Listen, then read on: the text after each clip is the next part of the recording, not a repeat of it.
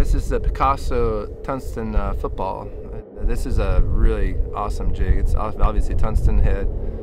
So this is a 3 8 you can see a normal 3 8 is way bigger than that. All the weight is in the very front, uh, so it gives this, this head, uh, this, this jig, uh, a particular action which is really nice. It falls really fast and it falls down. It, it's so heavy in the head, it actually stands up a lot. So it stands up and you pop it, and it, it, it may slowly fall depending on kind of bank you're at, but it's actually it helps in the fish to actually eating it, actually make them react. It's got a good keeper on it. Titanium weed guards. This is a 5-aught. It comes in three hook sizes, everything from a 3-aught, 4-aught, 5-aught, and uh, just a phenomenal jig. I'm here at Lake Mead. I actually caught all my fish, almost all my fish on the half ounce with the 4-aught, but just a great working jig. It has this one is a 5-aught 604 Gomi, which is a double strong. Uh, one of the probably best hooks, if not the best hook ever made a very strong wire, but it's also very sharp, very strong. So it actually uh, basically sticks fish like a lighter wire hook, but it's strong like a, like a double strong. So you don't have to worry about flexing this hook out or losing big fish on it. It's got also it has the,